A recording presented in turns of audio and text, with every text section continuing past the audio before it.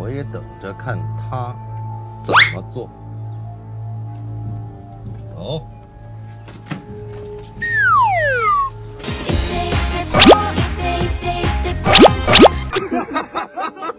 王建维、斯卡罗库总兵增胖十五公斤，坐轿子出场，原地解体。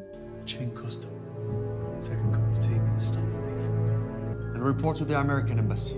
朝廷就责，红起风波。我派凤山县巡检前往搜查。恭喜史诗大戏斯卡罗收视创下二点五二好成绩。由于美国商船在廊桥触礁上岸，却遭生番砍头杀害，演变成国际问题。美国驻厦门领事李先德被派来台找寻失踪同胞，碰了软钉子。你不会真的派凤山县巡检去救护洋船员吧？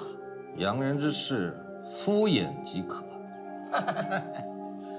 敷衍两个字从你的嘴里头说出来，我听得到像是在敷衍我呀。实则。你是想自行其事啊？自行其事不足，敷衍洋人，倒绰绰有余。道台大人，黄建伟为总兵大人角色增添威严，刻意增胖十五公斤，体重超过九十公斤。没想到，停！Save your handful of soldiers. I will send cannons and warship to Liang for this operation. 他会派炮舰往廊桥搜救。哈哈哈哈哈哈！能派炮舰，他就不用到道台府喝茶。看你们会怎么做，才决定要不要派炮舰。我也等着看他怎么做。走。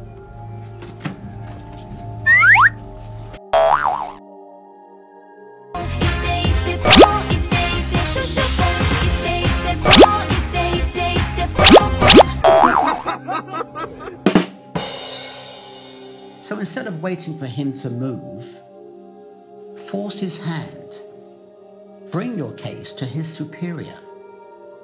You mean the Viceroy of Fukien and Chikyo? 给明哲总督的信会载明搜救行动由总兵大人负责。Is it some kind of Zen? In China, Zen is a way of practice. Some would say a religion. You cheeky bastard. I will help you. Can you tell me why? There will be plenty of time for explanations after I receive the Viceroy's orders.